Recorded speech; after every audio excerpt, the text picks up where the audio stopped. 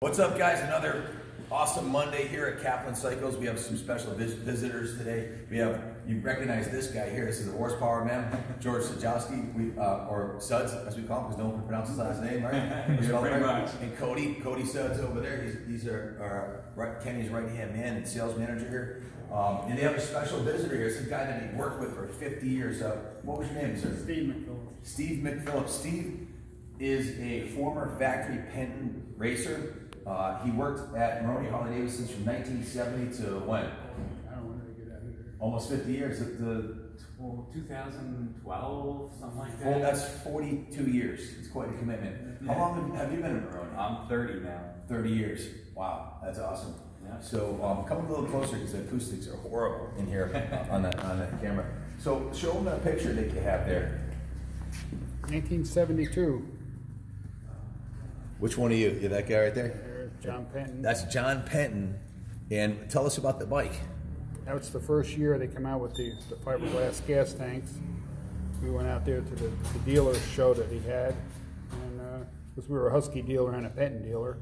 How come you had uh, Husky shirts on in the presence of John Penton? He probably didn't like Of course, that. he, he was actually the importer for oh, he Husqvarna was? Oh, so he didn't mind. He was making money either way. Oh, yeah. Whether it said Penton or Husky, he was cashing in. Then, then, then Husky came in, took took it over, but he was the importer for both of those.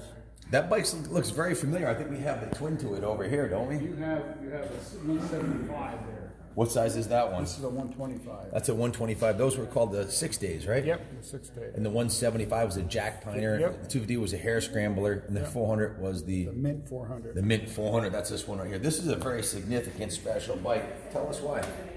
I rode one of these and uh, the qualifiers for the ISDE.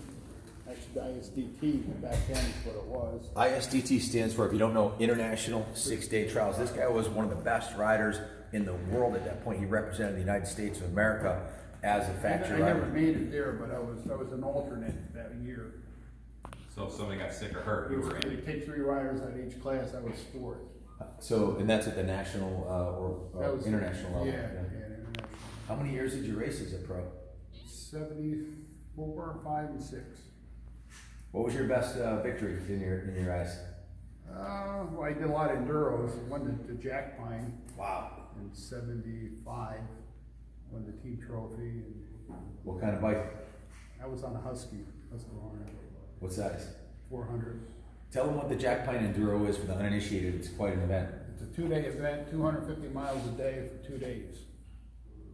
In the woods. Through the, through the Guys, uh, if you're not a math major like me, uh, that's 500 miles in the woods on a dirt bike, okay? At my age, 15 miles and my back's gonna hurt. How, how did you feel after 500 miles through the woods? I was in shape back then, so it didn't feel bad. Yeah, you just got up and went back out, huh? Exactly. We bounced when we were kids. we don't anymore.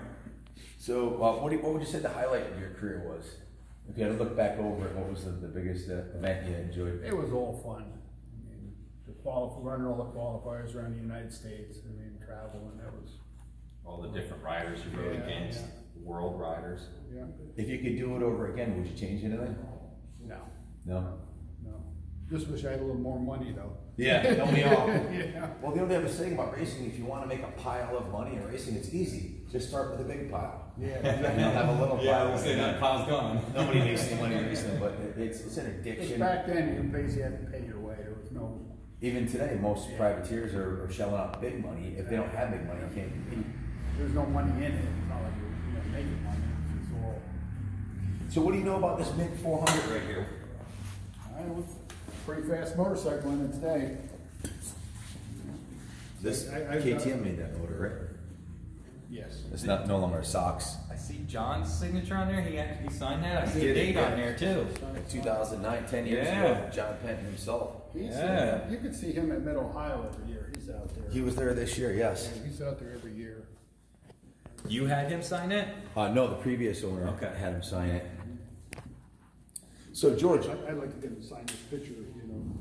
That would be cool, right? yeah, bring it to Mid Ohio. We looked it up the other day. He's 96 now, something like that. And I he's think. still out there 94. George, show us this poster that you bought in today. This is Uh, well, I brought piece. this in for you guys museum. Um, as you know, back in the day, you know, I built a lot of XR 750s. We had multiple riders. You still, are you not building one this right Actually- now? yeah, actually, I, I saw am. pictures. Yeah. You're building a brand new XR 750 from a pile of brand new NOS parts, right? Right, yeah. Pat actually found a complete uh, Harley engine kit because when you buy that motor, it doesn't come as a motor. You're Yeah. just buying a box with a million pieces in it. Every And part to put the motor together. yeah, and nothing fits. You have to machine everything to fit it because basically what the race shop did is, is they knew that engine builders wanted to build it their way. They didn't want Harley to build it. So they gave you everything, oversized or undersized, and then you fit things accordingly and built it the way you wanted to. How's it coming? I saw the pile of boxes. Good, I'm, I'm started in, I've, I've got the cases done, that's it so far. You were saying that that NOS Harley kit requires a fair amount of machining, like oh, sometimes A lot of machining, So, yeah. so it's not like for an average No. home user. oh, It's me- not something Let me you buy parts like. SNS parts and build it. This is factory stuff where you have to be a machinist and have a lathe and all the knowledge. Dude, just on an oil pump, I'll spend two, three days just on an oil pump. Wow. Yeah, it takes a long time. What are you What are you doing with this one? The XR? Yeah. Well, I actually asked Pat because everybody asked me that because Pat bought it and he owns it, and I thought that he was going to put it in a chassis and maybe do some vintage racing, you know, himself. But um, I talked to him the other day, and he's like, eh, you know, maybe if somebody comes up with the right number, I'll sell it, you know. So What's a motor like that worth? now, after I build it, he'd probably get 25, 30,000 for it. It's brand new. It's yeah. place. Probably the only new one left, right? I mean, are there? Well, any- actually, no. It's funny. Um, Pat took a video and put it on I don't know Twitter or Instagram or something. One of those things. I think Instagram. And well, you know, you've heard of Jared Mees and Brian Smith. You know, former national champions, Yeah. both of whom who used to ride for us. In fact, our last national championship, Jared Mees won for us, and that was what was that? 2001, I think, on the 883s. But anyway, both Jared and Brian hit me up asking me to build because they have motors they want built. And it's funny because Jared chimes back after Brian said, Yeah, build mine. And Jared's, because Brian now, I don't know if you know, signed with Factory Harley Davidson and they have to ride the Harley Street nice. from Vance and Hines, you know? And so Jared's teasing him saying, Yeah, you better get one of them built. Did you see the XR70 Hill Climber? yes, in the we, we museum? checked that all out. Yeah, that's an early XR. That's a small pinion shaft motor. Yeah, that's pretty cool. You said it was a board. It was it was like an 800 something. It wasn't no longer a 750. Yeah, yeah, it's nothing to do. Sure. Amazing, give me fashion. I'm gonna, I'm gonna get to race that next year. Uh, he's already, yeah. yeah, he's gonna let me hill climb that once, and Oh, I'd love wow. to have you there, uh, get the thing tuned right, you know? Sure. And what, what, how about that? I have the horsepower man himself, the XR70 guru, turn spinning the wrenches when we send it on the hill climb. We're actually doing a winter hill climb. Um, I have to talk to the president of the, the Munson Hill Climb. We're doing a fundraiser for the Fallen Rider Fund, for the AMA Injured Riders Fund, and we're gonna, um, uh, hopefully I'll, I'm gonna be running that 750. If not, I'll be running a 500. So, Cool. And this is in the snow? yeah, we're gonna be we running it in the snow. So it's like a hooligan event. It's well, it, it is very much. It's going to be a, uh cold weather in the snow. Run what you brung. Right. Ice spikes. Didn't don't you have a guy who's got a Kid, uh, yeah. kid? You- Yeah, he let him- won it at one time. Let him know the event's coming up, middle of January. He did that on, on his Dyna, an 02 Dyna. I know. I saw it. It was flying. Yeah. That's a hundred horsepower Dyna. How about the mountain there? Yeah. Yep. He, he It's put some big old spikes in that So tire. show us that poster. What? what, what I what did, that? yeah. Well, show, this, show this, the camera. this was um, 2005. Um, as you can see, it's a Screaming Eagle Wrecking Crew. We were factory Harley, and that's Brian Smith. He was our rider at the time. Um, and we were part of the Harley Davidson Wrecking Crews. Harley was really putting a big effort into it, and we were supposed to be doing information sharing, blah, blah. Kenny Coolbeth, if you notice, he's wearing the black leathers. He was the factory Harley rider, where the, the, the three here, Joe Kopp, Jared Mees, and Brian, we were the Screaming Eagle satellite part of the Wrecking Crew. So you were turning the wrenches on the three silver jacket. No, just for Brian. Brian, oh, yeah. okay. Jared wasn't riding for us anymore, and Joe Kopp was riding for someone else. But we were all part of the Harley Davidson Wrecking Crew. I see the Screaming Eagle Maroney's logo on the front right there. Yep, that's us. That's awesome. Yep. Who has that jacket now? Him probably. Oh yeah, yeah, That what a collectible, man! I would love to have one of those. yeah. Maybe have a replica made by um, Vanson Leathers or something like that. I gotta have that one, and the black one right there. Yeah, that was Kenny. That was. Uh, Do you think Vanson could make a set like that? Probably, Oh, right? I'm sure. Yeah, absolutely. That'd be primo for a set for my Dyna S. Almost, yeah, these guys' leathers ain't gonna fit you, Ken. These are little guys. yeah, they're yeah. little I have to jockeys. sew, sew a couple of them together, maybe. Yeah. Joe Kopp's the biggest one, and he's a little guy. So yeah, we have the 883, the XR 750, 800 plus CC in the, in the museum and some other really cool projects going on. We've got 18 bikes that came in as you see here today. Yeah, I saw I saw the video when these were dropped off too. That's pretty cool. The guy from Jersey, right? Yeah. Yeah. Is there any uh, comments you'd like to make on the Penton uh, bikes down here? Is there anything that, that catches your eye on there? It just brought- brings back a lot of memories. You have a what a 125 H speed, right? No, I, I- I don't have any pennies. My sister has a one twenty-five. I got three Huskies. Okay. Oh, that's right. Yeah, yeah. The H speed was a Husky. Yeah, He has, talking of XR 750s, okay, he has an XR 750 with a truly amazing story with how he got it. You still have it?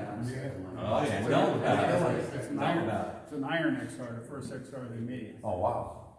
Did he, did he uh, tune it for you? No, No? no. Not Tell him about it. Tell him about the year. Tell him about how you got it. They traded a set of panheads for it. Nice. The guy didn't know what he had. He tells him that he's got, yeah, I got a Harley dirt bike up in my attic. I'll trade you because the guy didn't have no money to have his Well, panhead. actually, no, he said, I have a dirt bike that nobody can tell me what it is, a Harley dirt bike. I said, well, next time you come up, you know, bring the case and says all apart. But I got the case in the trunk of my car. So I went out and I seen I knew exactly what it was. And he, uh, he needed a set of panheads, so basically I traded him all the parts for a set of panheads.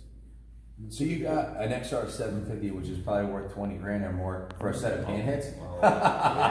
Did you wear your, did you wear your But this, mask? this this was years, this was years ago though. Oh, yeah, that's awesome. Congratulations, man. If you ever decide you want to sell it, uh, call us, or if you want to put it on display, we'd love to, to borrow it and put it on It's in my living room right now. Yeah, you're not selling your apartment anytime soon, but if you are, we've got a great spot for it. Yeah. Is there anything else you'd like to add before we wrap up the video? No, I'm all good. I just wanted to come check you guys out, and he's been wanting, he's been wanting to see the museum, so I figured I'd bring him out here. Awesome. Yeah. Well, thank you for coming down and sharing your history of your ISDT conquest. George, Yeah. always good to see you. Absolutely. Thanks for coming. Yeah, Stay it's tuned, great to see folks. how well you guys are doing. We got some killer bikes coming up today. We're going to test ride this KX500 Supermoto. I'll try to keep it off the street so I don't get arrested. Um, we've got a SV650 track bike that we're going to be doing next. A CR250 1984. And what else, Kenny? Oh, he's on the, he's on the phone. We got a whole bunch of cool bikes coming your way. Stay tuned. As always, God bless America. Hey, good to see you. Thanks for coming by again. It's been a little while. I'm glad you're doing great here, Back Cody, up. man. It's been I a like your little Christmas hat. That's cute. I look good, right? We, I, think, I think we all. You, you guys missed the Christmas party. We should have told you we had a big event here this morning. What do you see the video? Well, yeah, we had a actually, little bit when of we came in here, I saw the cars, and then I saw you guys in costume. I'm like, what? They got a party going on? Absolutely. We gave the new guy one hell of a first day. I'll tell you. Absolutely. Oh, is that what it was? The new guy? Hey, we, we even we even made a Christmas video for the bike thieves. Oh, really? So yeah, that'll be a lot of fun. Bike thieves? Yeah, A couple of them. yeah, yeah. Little, little warning. If he comes back tomorrow, he's probably good. If we didn't scare him away, we'll be good to go. Well, thanks for coming down, visit, and uh, always good to see you guys. All right. God bless.